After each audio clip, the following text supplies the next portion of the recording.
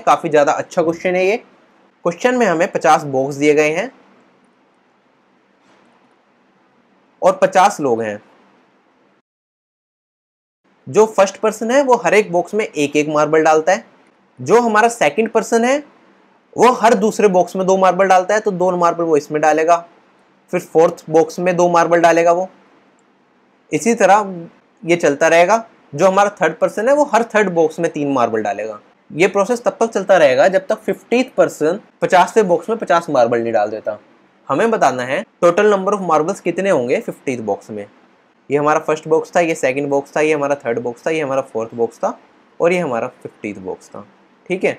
अगर मैं फिफ्टी के फैक्टर्स निकालूँ तो ये हो जाएँगे टू से जाएगा ट्वेंटी फाइव फाइव से जाएगा टू फाइव ये फाइव से जाएगा, ये हो जाएगा वन तो मैं फिफ्टी को लिख सकता हूँ two into five into five into one भी लिख सकता हूँ मैं। तो हम कह सकते हैं जो फ़र्स्ट पर्सन होगा, वो फिफ्टीथ बॉक्स में मार्बल डालेगा। जो हमारा सेकंड पर्सन होगा, वो भी फिफ्टीथ बॉक्स में मार्बल डालेगा। उसके बाद जो थर्ड पर्सन होगा, वो फिफ्टीथ बॉक्स में मार्बल नहीं डालेगा, क्योंकि फिफ्टी डिविजिबल नहीं है थ्री से। फोर्थ पर्सन भी फिफ्टीथ बॉक्स में मार्बल नहीं डालेगा, उसके बाद आएगा फिफ्थ पर्सन जो कि फाइव मार्बल डालेगा फिफ्टीथ बॉक्स में, क्योंकि फिफ्टी डिविजुअल है फाइव से। इसी तरह से जो हमारा टेंथ पर्सन होगा वो फिफ्टी बॉक्स में टेन मार्बल्स डालेगा। जो हमारा ट्वेंटी फिफ्थ पर्सन होगा, वो ट्वेंटी फाइव मार्बल्स डालेगा फिफ्टीथ बॉक्स में। और जो हमारा फिफ्टी पर्सन होगा, वो फिफ्टी मार्बल्स डालेगा फिफ्टीथ बॉक्स में।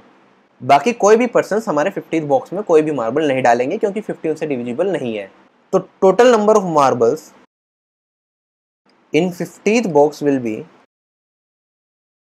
one plus two plus five plus ten plus twenty five plus fifty अगर हम इन सबको ऐड करेंगे तो आ जाएगा नाइन्टी थ्री ये है हमारा ऑप्शन नंबर फोर अब इस क्वेश्चन में हमें खाली फिफ्टी बॉक्स दिए गए थे.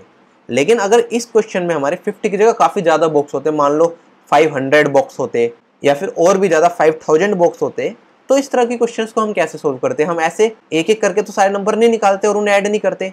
इसके लिए एक जनरल फॉर्मूला हम सीख लेते हैं. जैसे यहाँ पे हमें नंबर दिया गया था फिफ्टी हमें फिफ्टी बॉक्स में नंबर निकालने थे. एन को मैं लिख सकता हूँ पी वन की power A one into P two की power A two into dash dash dash P N की power A N P one P two two P N हमारे प्राइम नंबर्स हैं, जो कि एन के फैक्टर्स में आएँगे। A one A two two A N in different prime factors की powers होंगी। तो यहाँ पे हमारा एन था फिफ्टी तो मैं फिफ्टी को लिख सकता हूँ two into five to the power two ठीक है?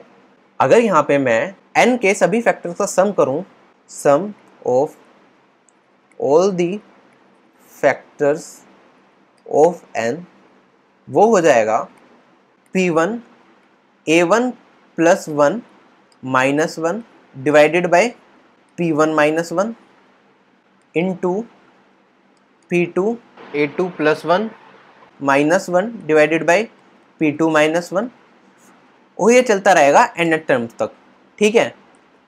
जैसे इस क्वेश्चन में हमारा P1 था टू एंड P2 था फाइव P1 हमें दिया गया है टू P2 है हमारा फाइव A1 है हमारा वन एंड A2 है हमारा टू अगर मैं इसे पुट कर दूँ दिए गए फॉर्मूले में तो ये P1 हो जाएगा टू A1 है वन वन प्लस वन हो जाएगा two minus one divided by P one minus one P one है two two minus one into P two है फाइव ए टू है two two plus one minus one divided by five minus one clear है ये?